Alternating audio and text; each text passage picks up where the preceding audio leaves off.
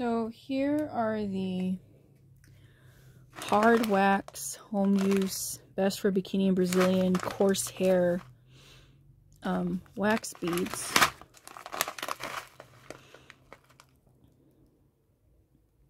So I don't know why there's plastic on there, but that's what it came with. Like maybe it was supposed to be a two pack or something.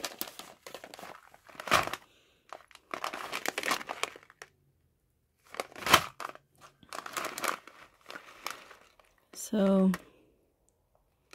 heat it till it's a honey-like consistency. Use on clean, dry skin. Test on your wrist to avoid burn. Apply where the hair is and go in the opposite direction of the hair growth, or the, yeah, opposite direction of hair growth. Protect and soothe your skin with pre-wax care. Do not use in your nose, ears, nipples, eyelashes, warts, or moles.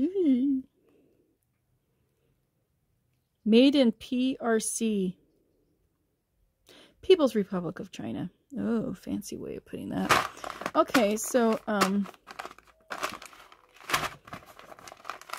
this is kind of a foil backpack, but it has a clear front. So let's go ahead and open this. So, it says it's for home use. Just going to take a little knife here.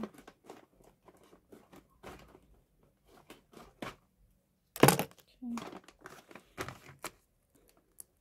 I'll let you know what these are like. So, ew. It's got a, I don't know how you describe that smell. It doesn't smell very good. It's not like a spot smell. It's like, what is this? Okay, so the beads, they're very translucent. They're like some, yeah, they're opaque. They're opaque. Real glossy, real pretty. You're like, ooh, fancy. Okay, it's gonna be fun to put these inside a little heater. Um, they, God, what do I describe the smell as?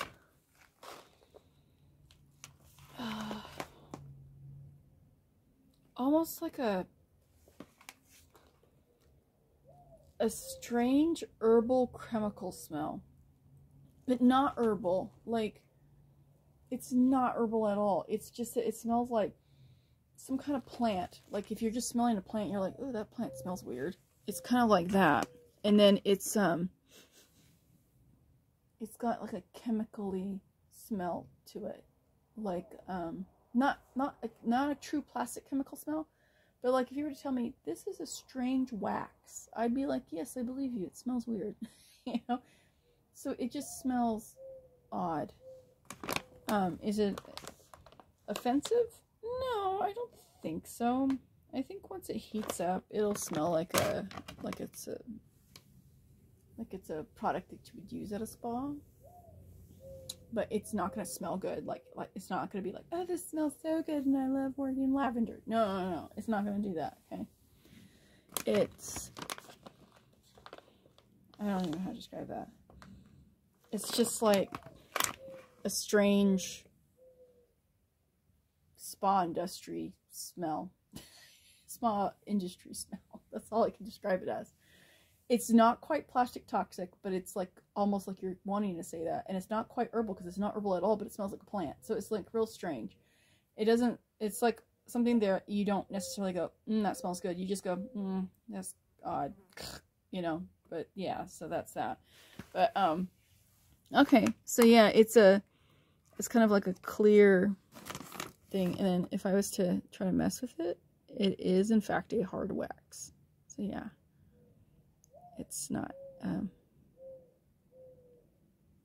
so once you, this dries it's gonna rip up stuff okay? That's me digging my nail in it see?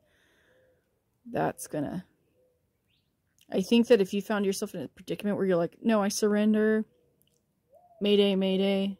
I'm out you're gonna need to use a hair dryer to get it off of your skin because this is going to be very hard. So yeah, so there you go.